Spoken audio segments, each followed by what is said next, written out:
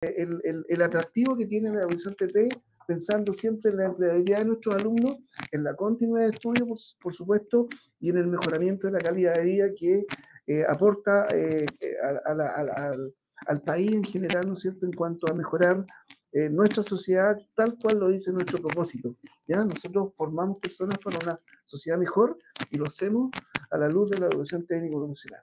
Hoy nos acompañan en el set que es la oficina del director, eh, Christopher de mecánica, del primero G, Ignacia eh, del primero B, ¿no es cierto?, de telecomunicaciones, y Bruno, que eh, van a estar un par de minutos con nosotros conversando y, por supuesto, mostrándonos algunos detalles de, la especialidad, que es la manera nuestra de celebrar y determinar el día viernes con la celebración del día TP.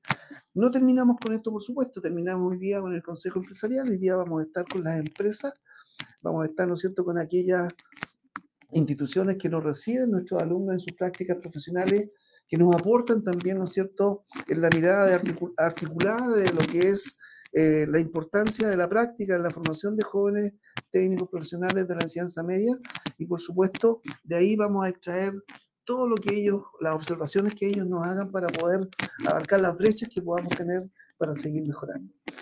Así que sin más, lo dejo con los chicos y con don Patricio Carreño, pero antes de eso, estoy tirando la oreja al padre aquí al lado mío, eh, vamos a hacer la oración, ¿no es cierto?, inicial. Buenos días para todos eh, y todas. Nos disponemos ahora a finalizar esta semana o cerrar esta semana eh, como lo hemos hecho, siempre pues, iniciando, colocándonos en la presencia del Señor y colocarle a Él todos nuestros proyectos, eh, todo este crecimiento que vamos realizando en torno a lo que es la educación técnico-profesional. Nos encomendamos al Señor, pedimos para que Él nos bendiga en este día y acompañe nuestro, nuestro caminar. Por eso le decimos juntos, Padre nuestro que estás en el cielo, santificado sea tu nombre Venga a nosotros tu reino, hágase tu voluntad en la tierra como en el cielo. Danos hoy nuestro pan de cada día. Perdona nuestras ofensas, como también nosotros perdonamos a los que nos ofenden. No nos dejes caer en la tentación y líbranos del mal. Amén. En el nombre del Padre, y del Hijo, y del Espíritu Santo. Amén.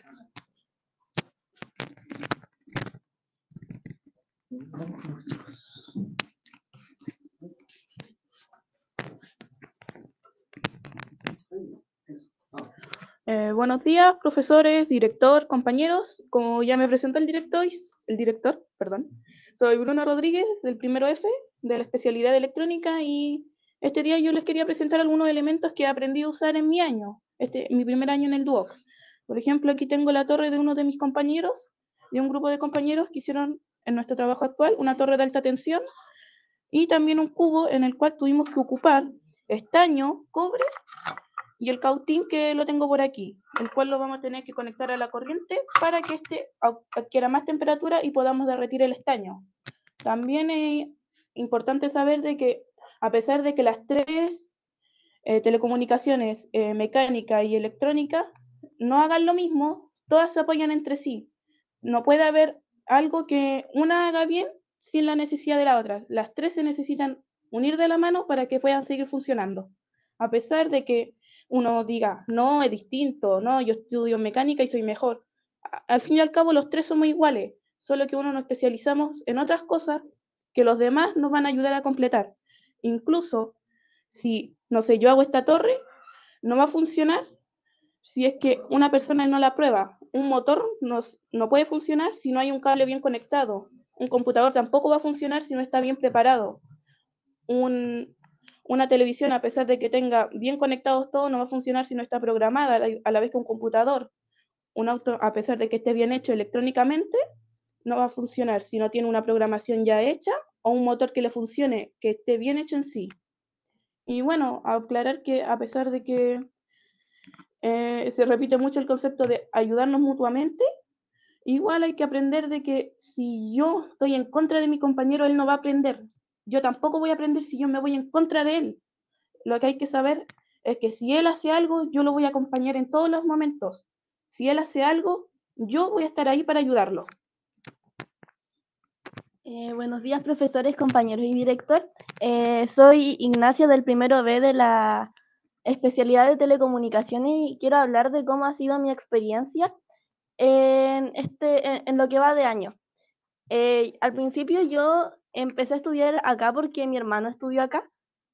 fue de la generación 2019 y me gustó cómo trabaja en el área. Él se está especializando en analista programador computacional y he visto muchos programas, he visto cómo hacen páginas web y en realidad se ve entretenido, pero todo necesita eh, ciencias básicas, por ejemplo, la matemática, la ciencia, el inglés, para que si dicen ya, si voy a estudiar esto, voy a, voy a estudiar solo en las materias que nos tocan, por ejemplo, programación, software, introducción, eh, no les va a servir de nada si no le ponen atención igual a las otras materias porque son igual de importantes.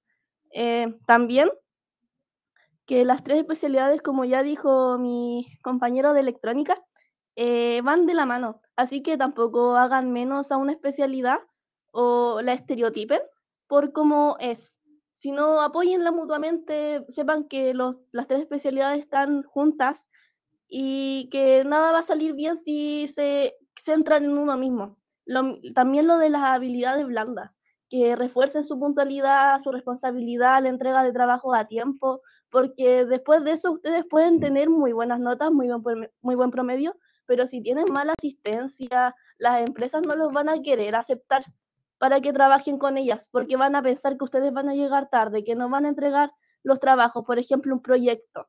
Así que para que se esfuercen en eso. Y feliz semana ATP. Hola, buenos días, buenos días director, buenos días profesores. Eh, mi nombre es Christopher Lascano, el primero G, mi especialidad es mecánica automotriz y les vengo a contar un poco de la especialidad de, mi especialización en los talleres de dúo. Eh, lo que lo han pasado eh, este año y lo que lo que ha, lo han pasado, por ejemplo, herramientas de medición, medición en pulgada y en milímetro, podemos ver aquí un multímetro que lo puede servir en mecánica, en, telecomunicaciones y en, electrónica. Por ejemplo, ahí tenemos medición de torque y también la CPU de un auto, que por ejemplo se enlaza con electrónica y telecomunicaciones. Igual donde los decía yo dos, no podemos estar separados porque siempre va a haber alguna relación entre nosotros tres.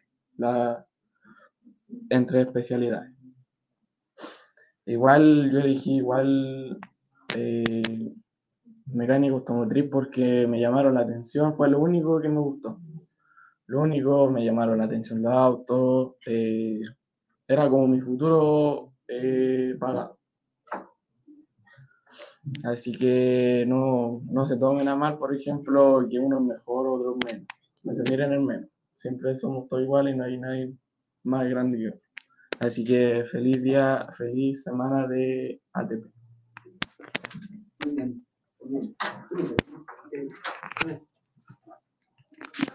Oye, espectacular su, su resumen.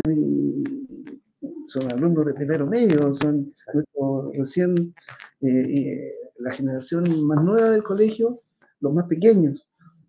Eh, me gustaría preguntarles eh, porque ya nos quedó claro en la exposición de ustedes, ¿no es cierto?, respecto de cómo están viendo su especialidad.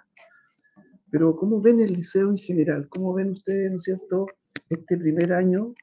Si bien es cierto, hemos tenido eh, algunos temas, sobre todo de convivencia, eh, como bien dicen a los tres, somos una comunidad, una comunidad que pretende estar muy unida para poder avanzar y por supuesto el respeto, el, la, mirada positiva, ¿no es cierto? La palabra aliento cuando se necesita es súper clave, ¿no es cierto? En un espacio que para nosotros es pequeño, pero que eh, eh, en el día a día, en donde pasan muchas cosas, ¿ya? En los recreos, cuando nos vemos en los patios, en los pasillos, cuando, cuando, cuando tenemos, ¿no es cierto?, eh, jornadas como la de ayer, donde todos participamos, se ve un colegio, ¿no es cierto?, bastante dinámico y bastante, ¿no es cierto?, motivador para el resto. Pero ustedes vienen entrando. ¿Cómo han visto este, en este tiempo eh, el funcionamiento del liceo en general?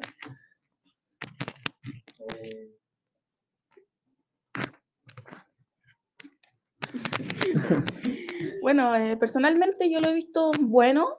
no hay que echarle la culpa de algunos estudiantes al liceo, ya la conducta viene desde afuera, el liceo intenta dar lo mejor para uno, intentar que los demás se apoyen mutuamente, pero no es culpa de los demás que el liceo tenga una mala fama o que un curso tenga mala fama, sino que el estudiante que se comporte mal ya es, instinto suyo y problema suyo, no tiene que entrar en el, no tiene que hacer que los demás caigan en el mismo pozo que él ya cayó. Igual la convivencia muy buena, tenía altas expectativas y ciertamente la mayoría se han cumplido. Ya me había metido aquí porque sabía de que era un colegio de excelencia y yo quería esforzarme en lo que yo iba a hacer más adelante. A pesar de que no estamos haciendo grandes trabajos, trabajando con empresas ahora en primero, como los de cuarto, ahora que van a, van a tener que ir a estudiar a otros lugares y empezar a hacer ya trabajos técnicos. Eh, no tenemos esa experiencia nosotros todavía, somos muy nuevos en esto, pero sé que a medida que vayamos creciendo y vayamos siguiendo estudiando nuestra especialidad, vamos a poder continuar mejorando nuestras habilidades, tal vez nos especialicemos en una cosa en la que al inicio nos fuimos, no nos facilitaba mucho, pero que más adelante nos va a facilitar. Por ejemplo, yo personalmente me cuesta mucho estañar por ahora, pero si sigo practicándolo, lo más posible es que más adelante se, me resulte lo más fácil que hay ahora. Eh, yo encuentro que el liceo eh, nos da igual muchas facilidades, por ejemplo, eh, nos ayuda por si tenemos alguna actividad extra académica o las que el mismo liceo nos aporta en los talleres motive. También los profesores los profesores si uno tiene algún problema, se los dice y ya lo ayudan. Así que eso, siento que el liceo eh, ayuda a todos los estudiantes que quieren ser ayudados. Así que los que dicen que, no sé, como, un profesor, lo típico, un profesor me tiene mala, eh, tienen que hablar con ese profesor y ver por qué quizás tenga una, una actitud distante con ustedes, porque hay veces que los mismos estudiantes se van como generando la distancia con los, con los profesores, hablando en clase, gritando, usando la cotona, eh, cosas así. No, el liceo en sí ha sido demasiado buena. No todo liceo tiene talleres tan grandes. La actitud de todos los profesores, de los directores, inspectores.